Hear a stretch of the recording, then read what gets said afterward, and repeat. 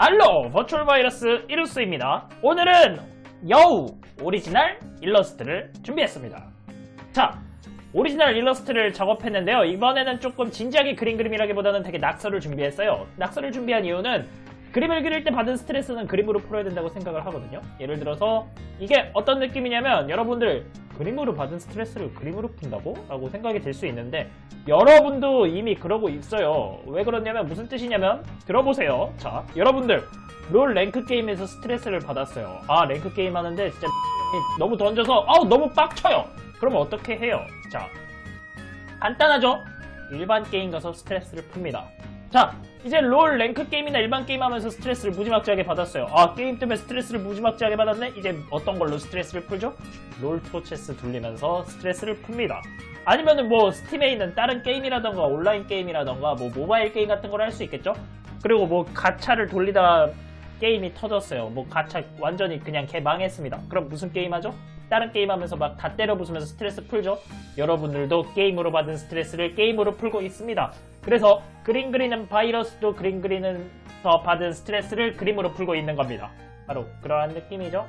여러분들도 충분히 이해가 되시죠? 자, 그래서 지금 보시면은 굉장히 낙서를 되게 편안하게 그리고 있어요. 역시 저는 rough 위에 채색을 하면서 그 rough를 지워가면서 그림 그리는 걸 개인적으로 좋아하고 있기 때문에 낙서를 할 때도 이런 식으로 그리는 거죠. 그래서 rough 스케치 위에다가 간단하게 이런 식으로 계속 계속 rough를 지워주면서 작업을 하는 겁니다.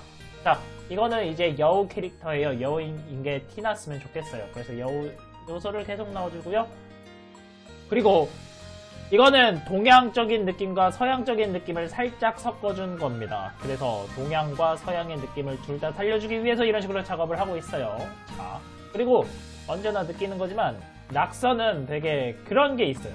그러니까 그림 그리는 사람들이 낙서라고 하는 거 가끔 보면 이게 낙서야? 라고 막 그런 댓글을 다는데 여러분들 그림 그리는 사람의 낙서는 대충이랑 비슷해요. 나는 열심히 그리지 않았지만 그림은 선녀같이 나와서 공개하겠다는 느낌이에요. 절대 대충 그렸다는 뜻이 아니에요. 여러분들의 대충과 그림 그리는 사람의 대충은 달라요. 낙서는 열심히 그리지 않았지만 그래도 그림은 잘 나왔다는 뜻이에요. 그러니까 적당히 걸러서 들으셔야 됩니다. 아 이거 낙서했는데 잘 그려져서 올립니다 하고 낙서라고 올리는 거는 절대 그냥 대충 그린 게 아닙니다. 자기가 좋아하는 걸 그렸기 때문에 잘 그릴 수 있는 거예요. 그리고 좀 그런 의미도 있어요. 내가 생각한 것보단 그림이 잘 나왔네 라는 뜻이 낙서입니다. 절대로 낙서라는 단어의 뜻 액면가대로 받아들이지 마세요. 뭐 물론 진심으로 낙서라고 생각하고 올리는 그림 그리는 사람이 있을 수 있어요. 이건 case by case라는 거고 솔직히 이건 제 경우에 드리는 말씀입니다. 그러니까 다른 그림 그리는 사람에 똑같이 대입하기는 힘들 수 있어요. 제가 그렇다는 거죠. 대충이라는 단어도 그렇습니다. 제가 그렇다는 거예요. 여러분, 다른 그림 그리는 사람한테 찾아가서 얘가 이렇게 얘기했다라고 얘기하면 안 돼요. 이건 제 케이스입니다. 사람마다 다를 수 있어요. 자, 어느 정도 낙서가 완료됐으면 이런 식으로 계속 추가를 해줍니다. 이렇게 추가를 해주면 이제 솔직히 프로그램의 힘을 이용해서 색감도 바꿔주고 할 거예요. 그런데 지금 보시면은 계속적으로 톤을 올리고 이게 프로그램으로 색감을 바꾸다 보니까 피부톤이 너무 어두워졌습니다.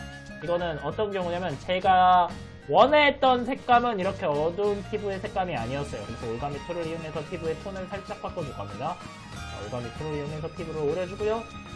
밝기를 살짝 준 다음에 빛을 넣어줍시다. 그러면 완성입니다. 자, 이런 식으로 완성입니다.